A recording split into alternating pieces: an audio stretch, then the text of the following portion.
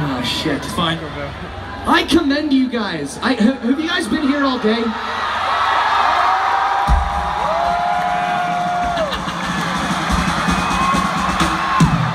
Oh. Shit, he was watching?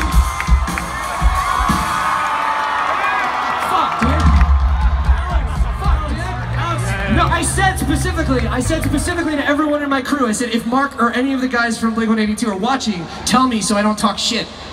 God damn it, guys. You had one job!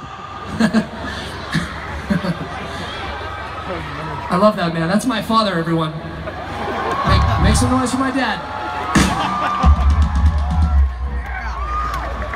So, as I was saying before, how many of you guys have been here all day? So you motherfuckers are crazy by default because you weathered like three storms.